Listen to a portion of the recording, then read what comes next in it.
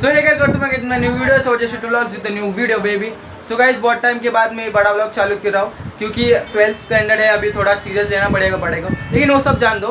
अभी आज अब से नवरात्रि चालू है और कल था पहले दिन येलो और आज था ग्रीन और आज है डे टू तो मेरी बहन अभी जस्ट क्लास से आई और वो बोल रही थी कि बाहर मेला लगा है मेला लगा है। लेकिन बाहर तो इतनी जगह है नहीं रोड पर। तो अपन देखते हैं क्या है बस खर हा. सच्ची? तो चलो अपन जाके देखते हैं क्या है और क्या नहीं। मुझे तो नहीं लगता बाहर लगा रहेगा क्योंकि बाहर रोड पर जगह तो इतना है नहीं। लेकिन ये बच्ची बोल रही है अपनी बहन बोल रही है तो चलो जाके देखते हैं। अरे हाँ यार यहाँ पर तो सच में मेला लगा है। मुझे मुझे विश्वास नहीं था क्योंकि जगह देखो स्पेस बिल्कुल भी नहीं। अभी भी आप देख सकते हो स्पेस बिल्कुल भी नहीं। फिर भी देखो यहाँ पर एक ट्रैम्पोलिन भी है आकाश पालना भी है और जंपिंग जैक भी है चलो आप आगे जाके देखते हैं क्या क्या है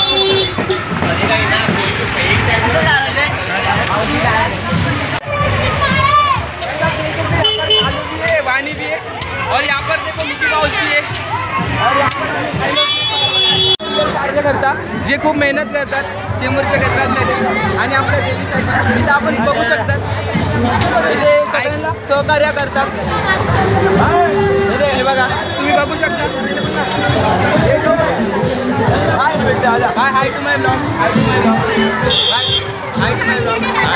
बघू शकतात आपले भाव किती कार्य करतात.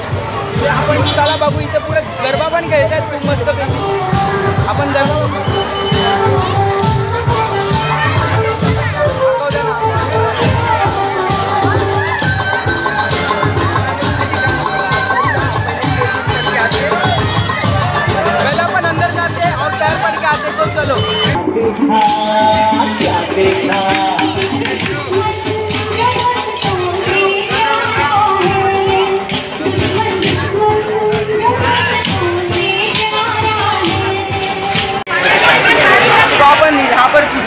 हैं है क्या है?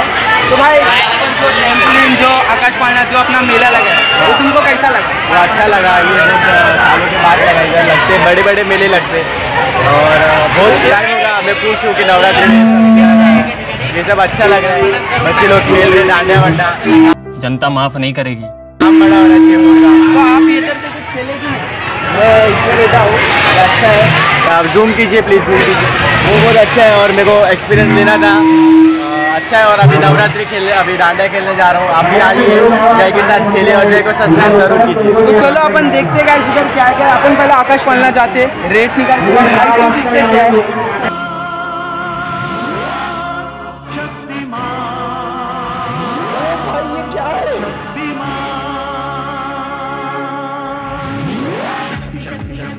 सो गाइज़ हम लोग के इधर अभी गरबा बंद हो गया है। तो अभी मैं जा रहा हूँ वाडौली में, वहाँ पर गरबा चालू है और आज वहाँ पर फैंसी ड्रेस भी है।